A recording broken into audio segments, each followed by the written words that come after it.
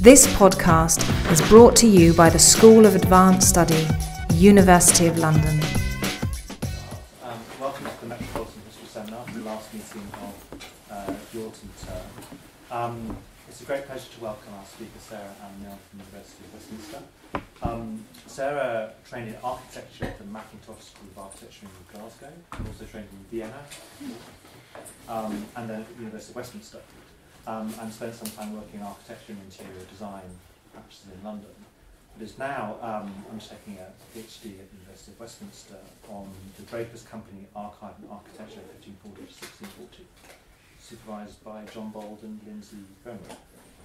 Um, and as you can see, our paper tonight is going to be um, the practice of property, the Drapers Company estate 1540 to 1640. Thank you.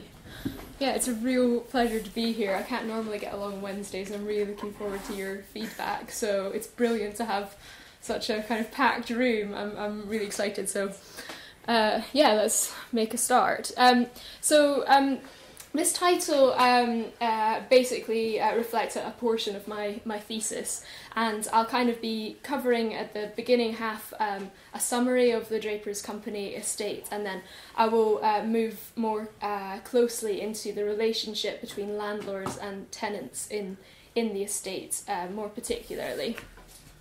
So it's really in this reciprocal relationship between tenants and landlords um, that um, I'm interested in, and particularly how those relationships produced the built environment. And as one of the Great 12 livery companies, I'm particularly concerned with the management of the Drapers Company estate. But my research began by asking what was the early modern Drapers Company like? The estate, what was it like? Um, and then I quickly moved into questions of how it worked and how it was worked out. So, in approaching these questions, I'm not only interested in the material and spatial qualities of the buildings amidst the tenurial landscape of London, but how these places were uh, lived by um, breathing, uh, by living, breathing, and thinking people, how they were worked out. And in the context of the London Livery Companies, my thesis in part attempts to bridge this relational and material gap between landlord, tenant, and property. So my thesis, uh, my, my focus is clearly on the Drapers Company, and my thesis assumes that livery companies became, became less tied to the business of their original trades and more tied to the business of property management, where there was intensive work in managing these estates. The difficulties of rent arrears, underlettings, and subdivision of properties have been remarked upon, and my thesis um, addresses how these uh, how these uh, properties were um, were worked out in in the relationship between guild, guild membership, and tenants. And I hope to show that uh, something of how significant the role of the of these livery companies, and particularly the drapers, were in the development of city properties and the city more widely. So in this way, we were just speaking about Gadd and Wallis's publication of um, 2001. 2002. Um, and it, Mark Jenner calls for um, more uh, studies on guild work, so I, I guess I'm responding to that that call. um, so in in this time, I hope to make contributions to three specific points of view regarding the practice of livery company property. Firstly, I will demonstrate and contextualise the growth of the estate and highlight the importance of the 16th century, something you're probably all um, mostly aware of. Uh, next, I will consider something of the complicated na- nature of rental ar- arrangements and allegiances. And finally, I will show how the preferential treatment of company members, and particularly the company governors, contributed to wider concerns about the use and abuse of company property. So, throughout, I'm especially interested in the stories of property discourse as a means of understanding the way urban space was understood, experienced, and ordered in the early modern period. So the research uh, intersects and builds on the detailed studies of Keene, Harding, and Baer in, into property holdings in London, as well as Schofield and Orlin's discussions of Treswell's maps and uh, city viewer certificates. And I've also watched uh, closely the um, study um, into people, property, and charity, and anybody interested in the charitable um, side of this discussion, um, I'd really recommend the website that's been uh, uh, put up um, relating to specific properties and their acquisition. Um, so there are limitations, of course, to this approach. Uh, William Baer of USC holds that few surveys or census reveal much about the nature or suitability of the relationship between landlord, tenant, and property, and more particularly this personal relationship between landlord and tenant. In the Drapers, we have an opportunity to observe these negotiations. Abstract discussions about the nature of the estate can be embedded within the particular, but only as described through the governing court, which consisted of wardens, past wardens, and masters. This is especially true of the company minute books, where grievances and discussions were recorded by the company clerk. And beyond the minute books, my research is reliant on a handful of loose plans and financial accounts of the renter warden series and warden accounts, all of which need to be handled with a similar dose of care and skepticism. I, I really enjoy this uh, this painting, which I think starts to get at the uh, what what it um, must have been like in the uh, well, it'd be lovely to hear Jennifer Bishop, but um, uh, the clerk's office as, as I'm working in the Drapers Company archive, I'm picking up uh, various um, loose plans and receipts and bundles. Um, uh, although the clerk, although most of the tithes or the the uh, rental payments uh, were made. Um, on on site, I think, as opposed to in the clerk's office. I, I find this image just actually articulates something of the uh, the complex relationship and the characters that this this company must have uh, been dealing with. So um, the 16th century is widely regarded um, uh, as the period when livery company properties property portfolios rapidly expanded and their role as charitable trustees was strengthened and it was based on this continued process of property bequests that the guilds, and particularly the Great Twelve, accumulated their wealth, although not all estates grew at the same time or at the same rate.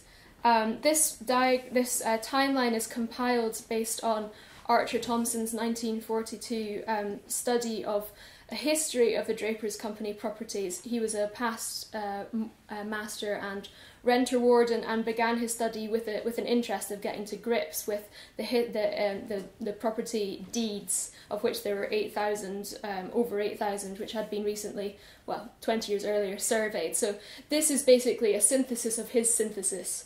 Um, and I think the timeline I, I wasn't sure how big the screen would be. So um, uh, th- basically this is 1500 here 1550 1600 and you can see the significance um, of of bequests uh, in or, or, acquisitions and purchases uh, within that period. Uh, so uh, uh, again, it'd be helpful for me to, to, to particularly mark in the, the dissolution of the monasteries in 1540s. So um, yeah, just about here. Uh, but this actually doesn't seem to have had much of an impact. Um, although the reasons behind bequests, I'm sure we could um, nuance, uh, but you can see as a whole the the significance of the 16th century.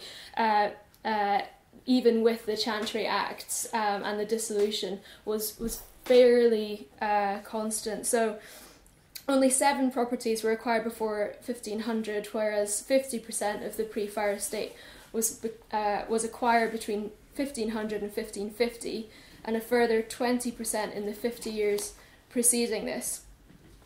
So um, this diagram should really be, um, when you're reading it, you should keep in mind that this also reflects, or at the same time, there was a wider cultural shift in the meanings of real property, which uh, worked towards a hardening of the notion of property in land and um, the um, the concretization of usages into property, uh, which could be rented, sold, or willed. Um, so this was often tied. This idea is often more tied to country estates, but livery companies can give us particular insights into the ur- urban circumstances of these of these shifts. So um, three um, quick ways in which the um, these properties were acquired bequests, so um, these were uh, uh, particularly properties that were um, given by past members uh, to, to work out various uh, charitable um, uh, means, uh, certainly after the, the Chantry Acts. Um, there were purchases on behalf of members, so using cash um, bequests and then corporate purchases. Um, so another 11 properties, if we look after 1600, were counted to the Drapers before 1666, where this timeline uh, finishes. And uh, such statistics clearly indicate the increasing number of sites owned or entrusted to the company and the explosion in scale of the estate in the 16th century. Um, commenting on the companies as a group, Keene and, and uh, Harding considered that such growth in urban properties had virtually ceased by the end of the 17th century, and um, I think the, the Drapers um, follows that kind of pattern. So the, yeah, this just situates those properties on on, on a uh, the Agas map of 16, 1560, um, and although um, this graphic uh, the graphic before demonstrates that swell of properties entering the portfolio between 1500 and 1600, it's, it's important to keep in mind that that uh, diagram does not indicate the size, the value, nor the number of individual dwellings represented by the acquisitions, which were identified, um, which are identified only by a, a single dot for the location. Um, so, for example, the Erber contained approximately 16 separate dwellings at the time of purchase, and uh, the goat on Cheapside represented at one time one tavern with no internal separations or uh, divisions. So, following the precise increase and decrease in the quantity of the dwellings on any one site, the subdivisions, conglomerations, demolish, demolitions, or constructions is an ever more slippery exercise uh, in this context. the question of the estate's gross rental value, a reasonable indicator of significance, should be added to this assessment. As has already been noted, deciphering company finances can be a tricky endeavour in terms of accuracy and survival as well as extent of recordation, which could considerably vary from year to year. But taken at face value, the reign of Elizabeth saw the rental value of the company's la- lands rise by almost 40%, excluding funds raised by the significantly increased practice of fining tenants upon renewal of leases. Similarly, the merchant tailor's gross rent income rose from 400 in the 1560s to 700 in the 1590s. So by the end of the century, drapers were um, situated by the end of the 16th century drapers were situated behind the mercers and merchant tailors in terms of rental income uh, based on other um, uh, figures but still firmly within the upper tier of livery company estates. Um, so um, the top is uh, based on um, yeah the, the lay subsidy in 1412 and those are the um, the five that were recorded in that in that subsidy in terms of the, the companies and then uh, 1541, as drapers were just about to make a, a very uh, two substantial uh, purchases, which we'll come back to, um, they were assessed um, uh, it, it, to some extent, although we don't, we don't we know exactly what that uh, was based on, um, uh, as the top company, and then um, they were number eight by 1582 based on the, the lay subsidy. So those are indications. They're not. Um, we can't take them. Uh, they, they're not directly relatable to fourteen uh, twelve, but they do provide an indication that drapers were at the in the upper uh, tier of the the great livery companies in terms of wealth, which was mostly based on their properties. Um, so it's important to note that the rising number of properties and rents stewarded by the company did not necessarily reflect an increase in profit or funds available to the company. Writing in 1975 um, of the early modern goldsmiths, Reddaway held that the importance of bequests, which enabled property acquisition, was enormous, and yet his view is that the immediate importance, save for the office work involved, was often small. He clarifies that reversions had to be watched, but they brought no immediate income. it could be decades before the company could claim the majority of rental income for themselves, but the extent to which the, the company financially benefited from its increased number of properties is contentious. Um, what what is sure is Reddaway calls office work, uh, what he calls office work, should not be underestimated, and that is um, really what I, what I, I guess I'm I'm attending to uh, in this talk more than um, a discussion of the um, the financial benefit to the to the corporation. So, among uh, many other things, London can be seen as a city both characterised by tenurial relationships and guild relationships. Surveying 1550 to 1700 Baer estimates that perhaps three quarters of London households were tenant occupants, whereas for Rappaport, three quarters of all men were, were members of companies. The overlap between tenancies and company membership must surely have been significant, and this fact should colour our reading of the Draper's records. Further, tenancy and landlordism were by no means exclusive. Responsibilities and attitudes between the two could be complex. If so many company members were tenants, just how significant were livery companies as landlords? Against a backdrop of thousands of London, of tens of thousands of London landlords, as estimated by Baer, the, te- the the Great Twelve companies surely held a diverse range of properties across the parishes within and without the walls, which you saw in the, the previous uh, map. And in contrast, the lesser companies might hold only one or two.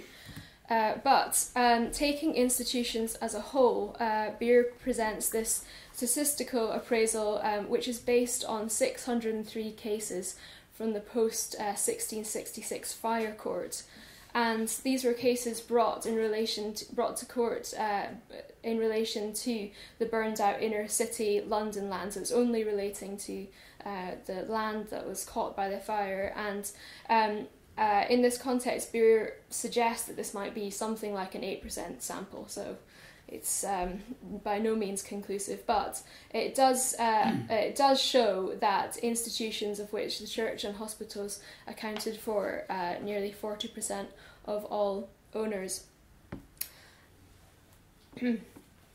so, uh, what remains clear is that the Drapers were endlessly dealing with the running of their properties at the highest level and if you, I mean, I've spent quite a lot of time in the minute books, and you can really see this uh, clear um, shift from around the 1540s, where the disputes coming to court were mainly of between uh, guild members in relation to um, the trades, uh, to uh, say the 1590s, where it seems like the majority of disputes are coming in between tenants.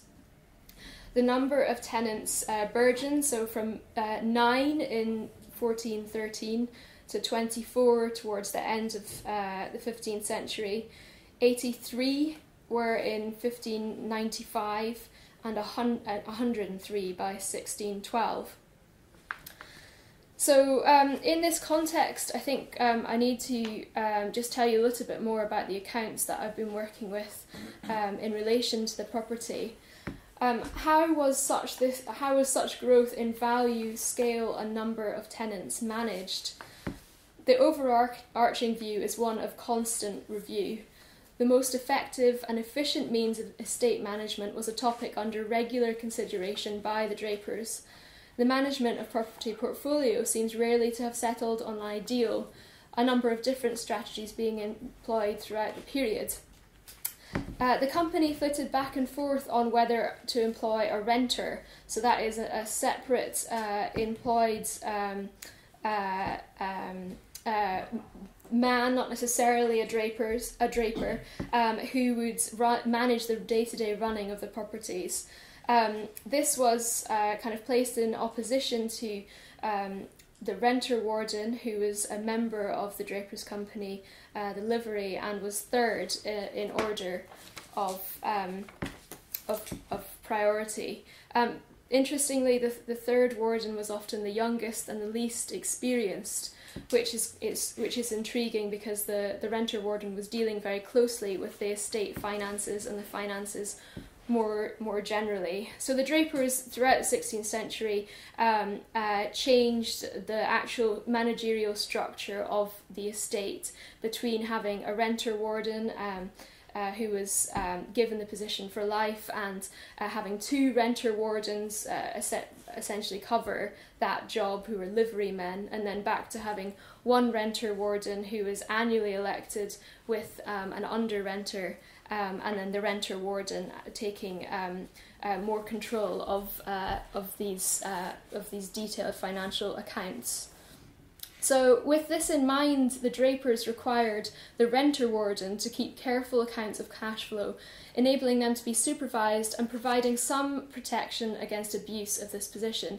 In 1556, an order was made that the renter visited the houses to receive the quarterly rents of the renter warden, to accompany him, and to and receive the rents into his cus- into his custody.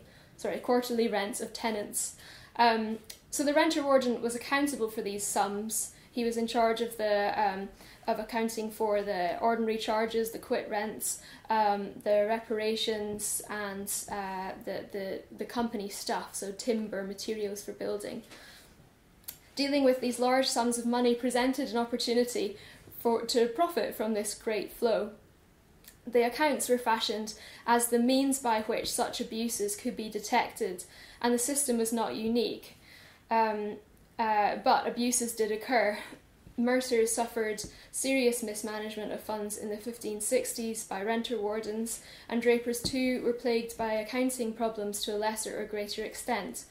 In 1555, the company, uh, the court complained that accounts were often brought in late. Uh, they were left disappointed by the amount of money returned to them, whereof they could not furnish their business accordingly. It was with much difficulty that the accounts were prized from the renter warden, to the extent that it caused the company great inconvenience to get them back. The solution was for renter wardens to put in one or two sureties to make a just and true account of all sums as such shall come into their hands, and a fine of £40 was imposed for those failing to execute their office.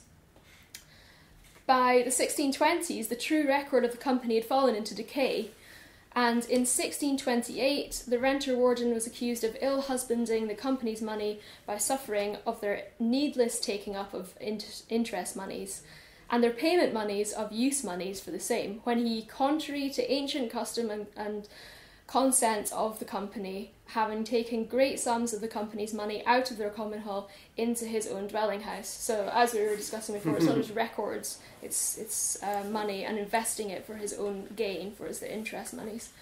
Um, in response, the renter warden's accounts were to see were to receive greater scrutiny. In November of the same year, the new renter warden was, was requested to keep a running total of his accounts for the greater clarity of the court. Later, the following year, further, um, more explicit instructions were issued regarding this. The renter warden was to keep a case book of all his receipts and payments, which should be written in his own hand and uh, placed at all times in the in the parlour on the table, so that any member of the court may access it.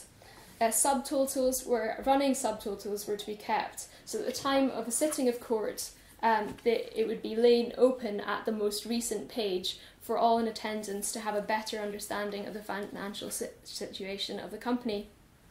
The position of renter seemed uh, to increase in the in in prestige in the period that I've been looking at. So uh, the renter um, uh, as opposed to the renter warden, uh, was uh, more often seen as a position of charity for misfortunate drapers. They're, they frequently are coming to the court um, asking for um, uh, charity on behalf of themselves and their family, and uh, are, are uh, one was deemed destitute about 1610, uh, but by 1634, eight, eight suitors presented themselves for the role, and one of whom was uh, an assistant of the company, so a former ward- warden, and another was a member of the livery. And um, here you you've got um, John Isham, who was um, a grocer's renter warden. He's actually in the in sixteen uh, in the 1560s, he's actually chosen to be represented in his um, in his uh, renter warden um, attire with his accounts in the back there. Um, so uh, one of the um, one of the types of evidence that I've been dealing with are the company plans. Um, uh, mainly loose plans, but um, you probably will all know uh, Ralph Treswell's surveys of the Clothworkers Company, and there's no equivalent plan book for um, the Drapers Company. And that that uh, document still stands as an astonishing uh, piece of work. Um, but here I've um, I've actually uh, started to draw up the uh, ownership of the lands uh, based on Treswell's uh, uh, Treswell's plans. So Treswell often draws a property, and then next door he will name uh, who owns the land or whether it's a company that owns the land. So this is based on those surveys. And in blue are the cloth workers' properties. Um, so these are uh, independent blocks. You can take each, one of these on a separate page within the Clothworkers Plan Book.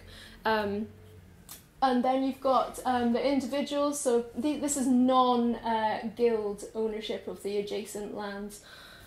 Um, and then um, this is ownership of the land adjacent to the clothworkers, which were uh, which were uh, held by uh, livery companies. So I think this, I find it quite interesting going through those and actually seeing the extent to which livery companies were uh, owning land adjacent to one another. Um, and I suppose that kind of survey, although it, it, it doesn't, uh, again, very very inconclusive as, as Baer's sample of 7% was, it gives us some indication of um, what might be going on in inner city, city, city London. So I want to pull out from the detail of the renter warden and turn to articulate something of the complicated relationships which resulted from this patchwork work of urban estates. And these relationships are uh, those that are um, recorded by the Drapers' uh, court, and as I said before, those are mediated. It seems in the context of inner London that livery company lands could remarkably often be situated adjacent to one another, and as indicated, tenants of one guild could wrench from another, leading to managerial disputes. The densely woven web of rental arrangements, combined with a restlessness in the occupation of land, was reflected in the dynamic, in the dynamic between individual members of guilds and their governing courts. Uh, so uh, here, the, these are two where drapers and cloth workers are particularly situated adjacent to one another. Um, and yeah, this one down here is Cornhill. Um, and this is Treswell's uh, plan as published in Schofield. Um, so the, the patch, that's, I find this one particularly interesting because it has um, the drapers just here. Only in that room uh, is, is, is that the draper's land. Um, and it's next to carpenters um, it's got Harwood up until this extent and then Collins at the side. Uh, you begin to see something of the complexity of these uh, spaces. So, although sharing a preference for housing their own me- members to one degree or another, a point that I shall discuss later, uh, members of the Drapers who were tenants of another company were as open to mistreatment as any other. One particular case is noteworthy for the way in which an individual dispute spilled over into an intercompany situation. In 1556, William Barlow's case was discussed by the Draper's Court. As a draper, he had been a tenant of the grocers in a tenement located next to the Goat on Cheapside, which belonged to drapers. He reported he was granted his tenancy with the goodwill of Alderman uh, John Aloff, uh, a grocer, and others of the grocer's court, and he duly moved in. He was later taken by surprise when a warning arrived from the, from the grocer's court to vacate the property so that a grocer might have occupation of the same tenement. It was claimed that his lease was void, for crucially, crucially it was not penned in their books a reference back to the increasing importance of importance of the company's centralized record keeping in relation to its property. Barlow had essentially been forcibly evicted. There are there are hints here that he was a victim of another company's rental black market, whereby governors might pocket profits directly for themselves by issuing leases without any centralized confirmation of the lease.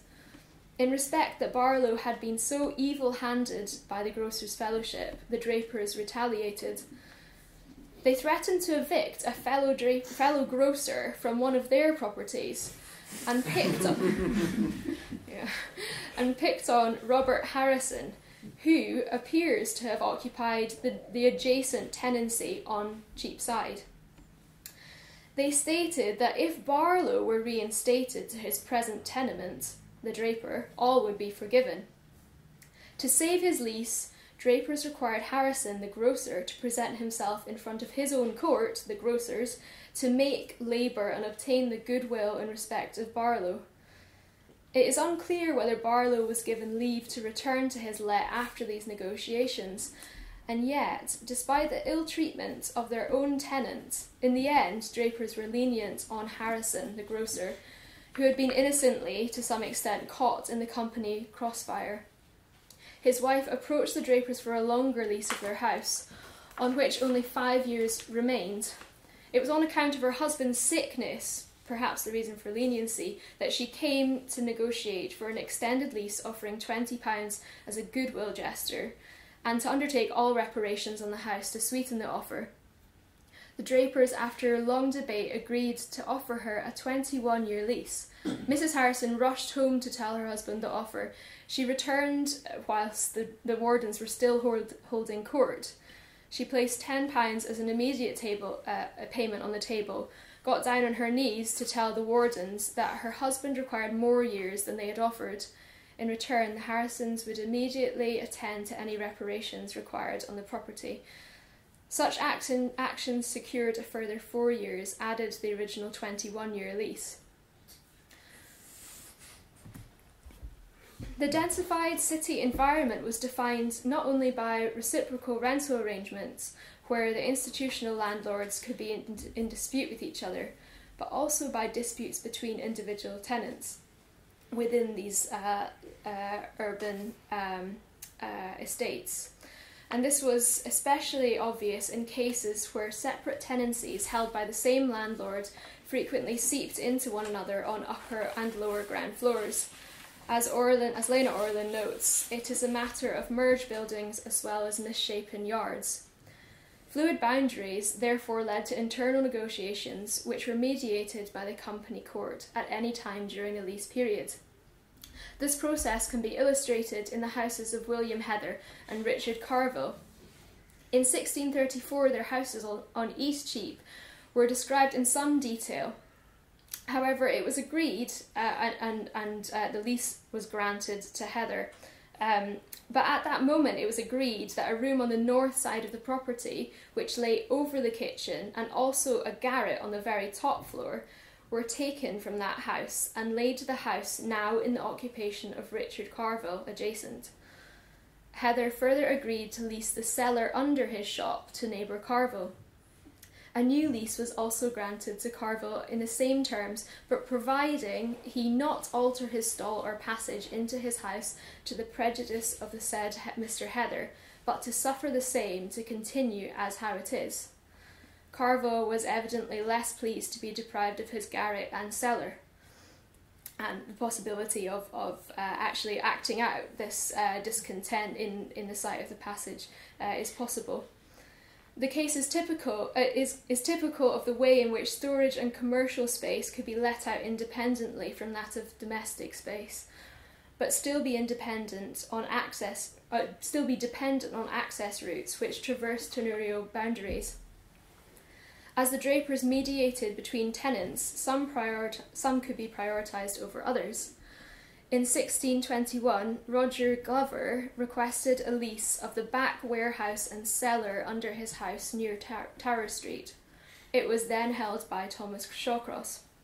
Drapers assented to the dividing of the, of the space, but three years later it becomes clear that this was an acrimonious division and indeed decision, Shawcross had refused to give over any of his warehouse to Glover's, to Glover. Uh, in the manner of the city viewers, the wardens and a few assistants were therefore call- called in to survey the site in order to clarify which part should be utilised by whom. A kind of compromise was reached after four, after three years of conflict. You will know that between that the link uh, between the development of a survey, the map, and the conception of property has been effectively made. Estate maps of the 1570s and 80s are often seen as a statement of ownership, a symbol of possession, uh, as no written survey could equal.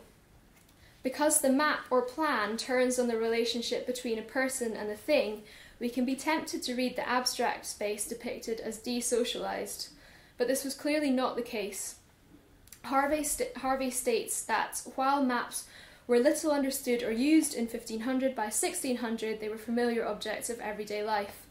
In the Draper's Company ar- archive, this appears to be borne out in more everyday circumstances of property management, where plans were used for profitable negotiations, yes, but not, nego- not negotiations stripped of their social meaning.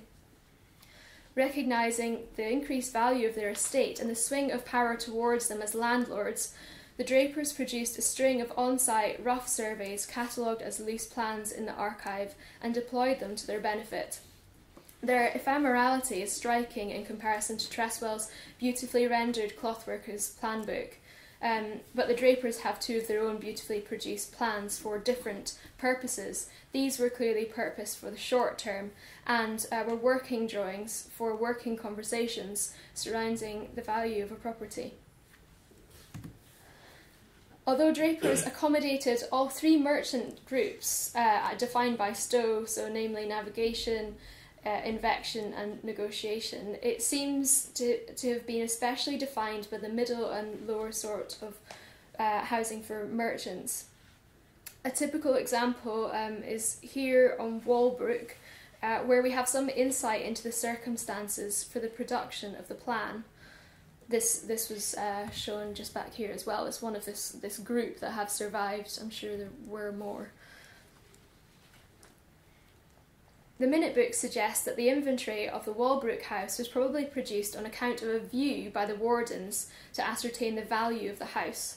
As indicated on the plan, the tenant, Mr. Eastcourt, applied for a new lease of 21 years in July 1623. After assessing the value of the let through a site visit, the plan was presumably drawn up as evidence to support Draper's case. The wardens decided that the fine for the new let would be £150. Eastcourt only offered 20 The company, unsurprisingly, ceased negotiations, holding Eastcourt's offer to be very unfit. And yet the court was willing to give Eastcourt the benefit of time to reconsider his offer, his rejected offer. By March 1624, Eastcourt had agreed to £120, so 30 less than, uh, than what Drapers uh, originally requested, and the rent remained the same. Perhaps the plan was produced to convince Eastcourt of its value. This practice of viewing properties first hand and laterally recording them was a system which enabled the drapers to review and maintain their estate at regular intervals. Once or twice a year, there were formal views of properties, followed by dinner, and throughout the year, wardens and employees, such as the carpenter, the company uh, carpenter, would be called to site for ad hoc dispute resolution. In terms of letting and rebuilding, this was not the laissez faire landlord depicted by Baer as hands off and eternally keen to sublet their properties to others who could manage it, although um, there is definite evidence um, that there was um, there was plenty group that there were plenty uh, groupings of properties that were sublet.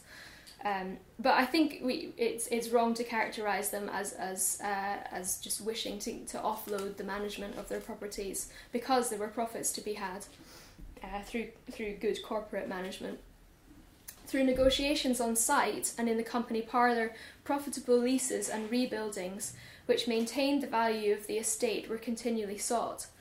For example, in 1635, the four wardens visited site and measured out the said ground in situ in, or- in order to direct John Goodwin's Smithfield house um, they also stated the manner and fashion in which he was to rebuild it, which is typical um, of, of the, the period of time after the um, Stuart royal pro- proclamations um, regarding the materiality and form of rebuilding. The increased pressure on city land at the time has been well rehearsed. Um, uh, so from 1550 to 1666, in 1550, perhaps 40,000 um, uh, inhabitants were within the walls, and then um, by six, before 1666, perhaps 100,000. So this represented uh, doubling the density of people per acre of 100 uh, to 200 across the same sorted period. Um, the swing of power inevitably shifted to the landlords in the city. Schofield has identified the 15 90s as an especial decade in which some might see um, the growing housing crisis um, uh, more clearly. Certainly, in 1587, the merchant tailors declared that a great number of freemen in this mystery are destitute of housing. In respect of the high average quality of tenements and regulated institutional structure which facilitated dialogue between tenant and landlord, the companies were sought out by potential tenants as landlords. In this context, to what extent uh, did drapers prioritise members and support their brethren? In their estate more broadly, only 20% of properties appear to have been uh, tenanted by drapers in 1549. So that's um, that's looking at the the renter um, accounts.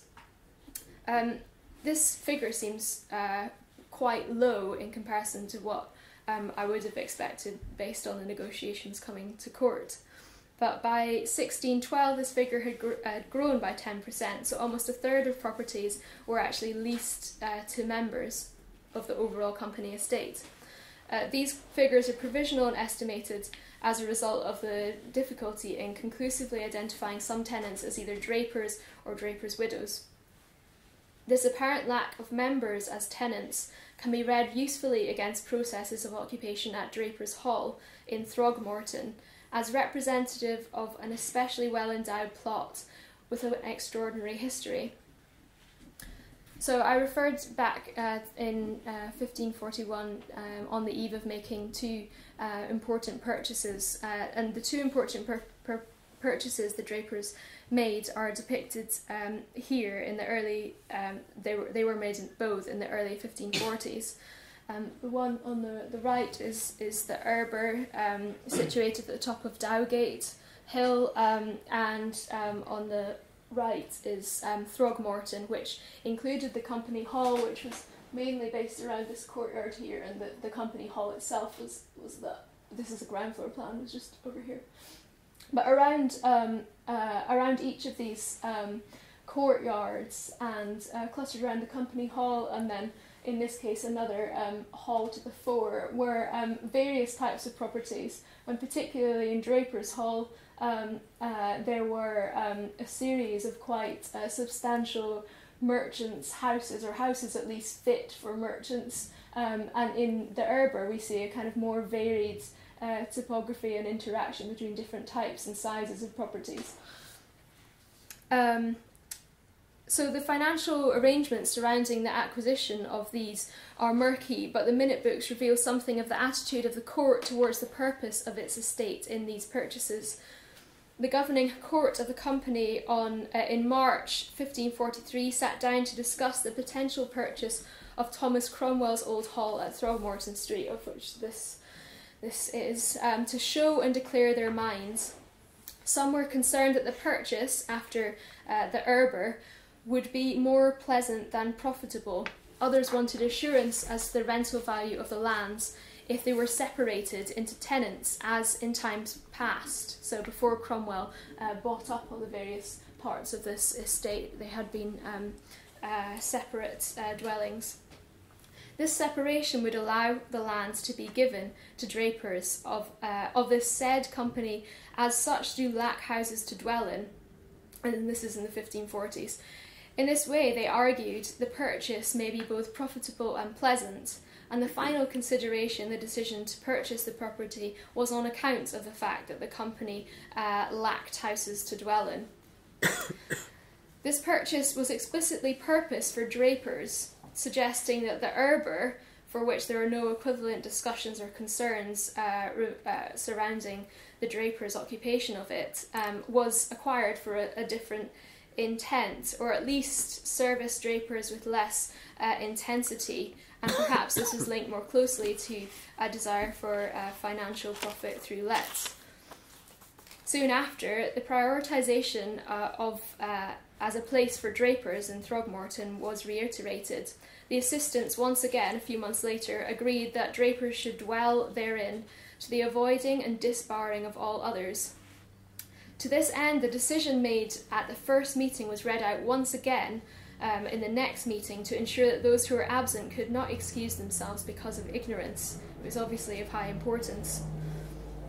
In terms of the Throgmorton site, a survey of the occupancy reveals no vacancies for the period of 1556 to 1630 and a consistently high proportion of drapers as tenants. More than this, Throgmorton was clearly tenanted by those of the company, higher, um, the higher levels of the company and successful merchants of other companies. Uh, they were mainly the notable, the notably successful merchants of other companies, rather than those of lower status, reflecting the types of properties um, in the Throgmorton city block. Following um, Mr. Roach, who was a Lord Mayor who um, inhabited the head house, was six times former Master John Sadler, who was then followed by Lord Mayor Sir John uh, Calthorpe, who was subsequently followed by the Garway family, who were um, increasingly influential and affluent. In all, uh, the Throgmorton site could claim that it housed at least one serving warden or master um, for a third of the years between the mid 16th century and the Civil War. So, to put it another way, more than two thirds of the drapers who leased properties at Throgmorton served as a warden at some time in their career, and more often than not, they served whilst they were named tenants of the property within Throgmorton. So perhaps this reflects a trajectory of success for drapers who took up tenancy um, as liverymen uh, within Throgmorton tended to uh, uh, become wardens at some point. In 1576, as if rehearsing their earlier 1544 decision about the purposes of their lands, a formalisation of a previous practice was entered into the company ordinances for the first time. So their previous um, order was a, a discussion, uh, um, uh, came out of a discussion, um, and it was a, an order that was not actually penned within the ordinances, so it, it, wasn't, it wasn't quite uh, as concrete. It was thought that those of the property of the company were more likely to maintain their houses in good condition, perhaps because they could be more easily disciplined and were known, per- known personally. Hands on management could lead to greater profits. In 1557, it was found a stranger was residing in Simon Horsepool's house in Cornhill. This was not unusual. Horspool was warned to inhabit therein, per- therein personally, or else he lose the benefit of his grant thereof. If the lets were to be made outside the company, the court was anxious to personally know those dwelling in their properties and refused license unless those, uh, those proposed subletters could be presented in court. In 1550, a general review of the processes by which grants of leases were made was undertaken. Um, tenants, executors, and assignees were taking liberties in passing on their lets without license of the centralised company, and an Act of Parliament had prompted drapers to take note of all inmates. These were uh, tenants at will lodged within properties or uh, by unlawful subletting. In order that uh, it was ordered that passing such lets on to outside the company must be agreed by special consent of the master and wardens. The application was to be handed in, in in writing and recorded by the clerk in the book of records remaining in the hall. Leases were not confirmed until a draft had been written and engrossed, even though verbal pr- promises routinely made, as in the case of um, uh, that we heard earlier of the the um, the Cheapside case, where the, the lease um, of Barlow wasn't actually penned in the um, the grocers company uh, documents, and therefore he uh, he he couldn't really challenge that. The company's preferment of its members indeed proved frustrating to those wishing to grant their houses to others. In transferring a lease successfully, there was no doubt of personal profit to be pocketed. Um, in this context, uh, to address the way in which the company was cut out of the deal, individual drapers were required to present their subtenants before the, the court, and that was a stipulation from 1590. So Draper, Jonas Ladbroke, had a powerful supporter right in favour of a lease for himself in Gracious Street. This house was shortly to become available. On account of the Lord Chief Bacon's letter, Ladbroke was called to the, co- the court to discuss. However, Johannes Isaac, the current tenant of the house that Ladbroke wanted on Gracious Street, and a draper, had apparently promised the reversion of his lease to a mercer, Richard Bryanston. On account that Ladbroke, the draper applying for the house, lacketh a house, he matched Bryson's offer um, for the tenancy.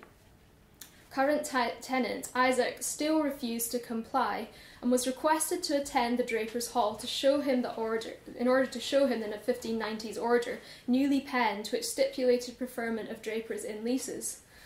Well supported Ladbroke, with his letter, was duly granted the lease. Unwilling to admit, admit defeat, however, Bryston, who had served his apprenticeship with a mercer, came to the Lord Mayor and Court of Aldermen requesting permission to be bound into the Drapers Company. So there's clearly a close relationship there. And Drapers refused, uh, citing the reason was to have continuous continuance in our worshipful house. As demand for leases grew, it became common practice for potential tenants to request the reversion or uh, next tenancy of a house. Open to members and non members, this resulted in complicated and lengthy lists which the company struggled to keep track of and consistently attempted to reform. And I think there's often uh, key moments where they actually deliberately forget uh, these, these lists. Demonstrating this market for a lease in 1553, a previous tenant of Draper's um, requested the avoidance of any tenement, any tenement pertaining to this house being of the rent of five pounds or under. He was willing to wait up to six years for one to become available, and Drapers agreed to grant him the same as long as he personally occupied it and did not sublet it, as we heard before. Yet waiting lists were not always adhered to, and Drapers could still overtake other long waiting suitors of other companies for their properties. In March 1571, two suitors from outside the company had toiled against each other for months in the court for the reversion of a property in Cornhill, making their cases to the, assistants. But both were left dif- uh, bitterly disappointed when a draper was prioritised ahead of them at the last minute. Upon presenting himself, the draper, Thomas Catcher, was immediately granted the lease, acknowledging their disconsent, uh, acknowledging the discontent their decision was likely to provoke. The court added the proviso that uh, Catcher um, that, that he satisfy and set content the previous two applicants, so those uh, non members, to the end that this company may be no further troubled by the same by any of their suits. Thinking more holistically about the state, the estate, in their pursuit of a company lease, drapers and non drapers alike drew attention to their important supporters. Writing on behalf of particular tenants, some letters can be found preserved in the archive, presumably only a fraction of the original total. Johnson, uh, the um, what's sometimes uh, called the company historian um, in the early 20th century, um, counts 12 remaining in the company's possession, including Lord Buckhurst, Lord Warwick, Sir, Sir Francis Walling, uh, Walling, Walsingham, the Bishop of Winchester. These tended to have an impact, securing better leases for those applying in receipt of such a letter, as demonstrated with Ladbroke and Lord Bacon. But in attending to and often actioning these letters, potential tenants could resort to considerable deceit. Attempting to capitalise on the court's desire to assist drapers who needed houses, one Leonard Piddock apparently sought to outflank George Stanismore a tenant of a house near Soper Lane and Watling Street. Stanismore's lease was shortly due for exp- expiration. Uh, he was not a draper.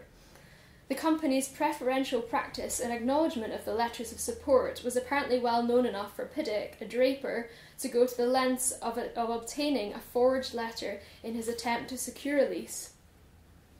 Piddock began his campaign early, more than a year before Stanismore's lease expired, in July 1583, a letter arrived at Draper's Hall uh, claiming to be penned by Lord uh, Burleigh, petitioning the master and wardens of the company to grant a lease to Piddock.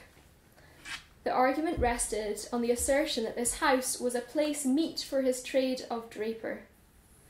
The reliability of the letter became more clearly questionable, for the next letter received by Burleigh a few months later stated that I do assure you to my remembrance I know not the said Leonard Piddock. Further, in regards to his to, to his support of Piddock in the next tenancy, Burleigh, Burleigh proceeded to note that neither do I presently remember any such member, and then went on to undermine Piddock, who allegeth to have procured a letter without his knowledge. Burleigh lo- wrote uh, rather to preserve Stanismore in his lease, so that he might not be led to his undoing as a result of his lack of a lease. Clearly, this was a sought after let, whether we, uh, no matter whose story we believe, and there was an implication uh, of that in its location, uh, which was, uh, uh, if we go back to the earlier um, uh, big map of London with the sites plotted on it, it seemed to be particularly um, a cluster of drapers around there. As seen within Draper's Hall, not all drapers were shown the same advantage. Uh, so, as seen within Throgmorton Street, not all drapers were shown the same advantage in relation to properties, or at least those higher up in the company hierarchy had more direct access to the leases of fair houses. Sutton writes that this was a widespread guild practice. She takes it that mercers always had a, a first choice of leases, and that inevitably those at the top of the pile were able to engineer the greatest personal profit. Evidently aware of this issue, a number of measures were taken by the governing court, which suggest that there were efforts to minimise the opportunities for corruption.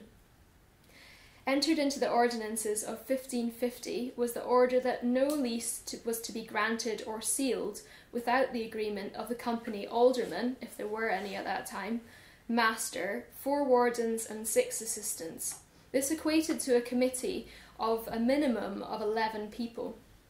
Further, in 1553, it was ordered that no warden or master should procure a lease for any time that they be in office. In 1554, it was noted that for that year, the wardens and master may not grant any more leases to themselves or their families. The fine for doing so was set at a hefty £20. Furthermore, in 1589, the court ordered that the leases must be granted by a full court of assistants only. And yet, wardens could consistently obtain leases for their friends, relatives, and employees. Um, I bring this up uh, partly because uh, it was highlighted earlier as one of the um, sites at which cloth workers and drapers uh, occupied adjacent tenancies. So here we've got the draper's land in the tenure of John Hall, and then again the grocer's land uh, in tenure. Um, can't quite see the name there. Um, but yeah, so we've got grocers, drapers, and cloth workers all working out in this Abchurch Lane um, and St Nicholas Lane uh, block. So in 1556, Mr. Dimmick, an assistant of the drapers, secured a house in Petty, Wales, Thames Street, for his sister in law. Um, in, in the 1620s, Warden John Hall assist, assigned four tenants in St Nicholas and Abchurch Lanes to his father.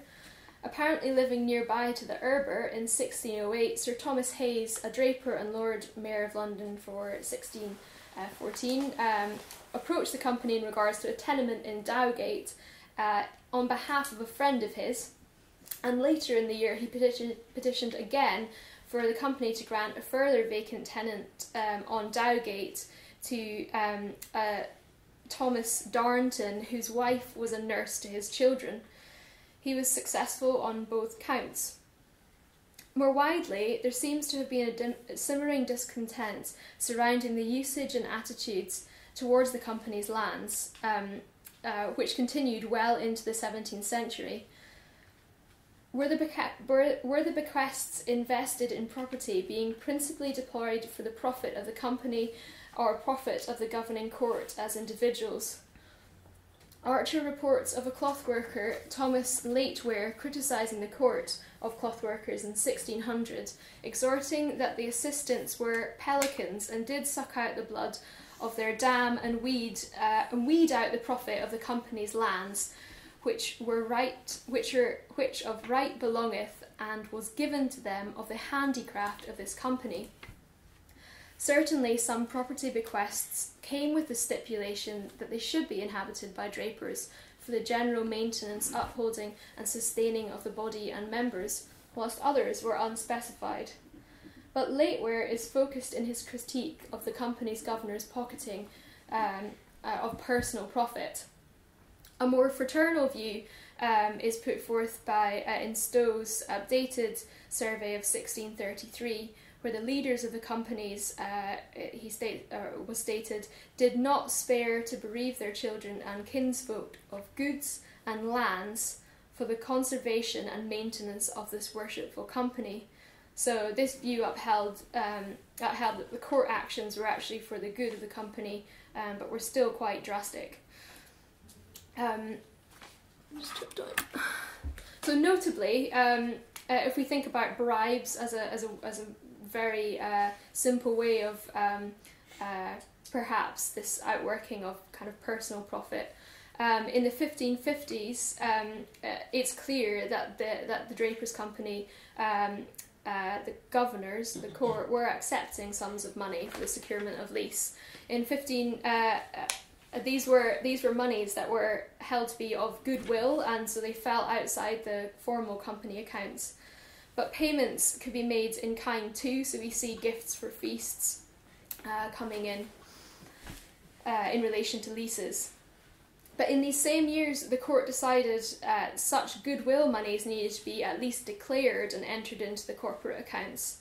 The practice was further challenged in 1559 when an order was issued expressly forbidding um, payments made directly to wardens or the master, so that's all within 10 years.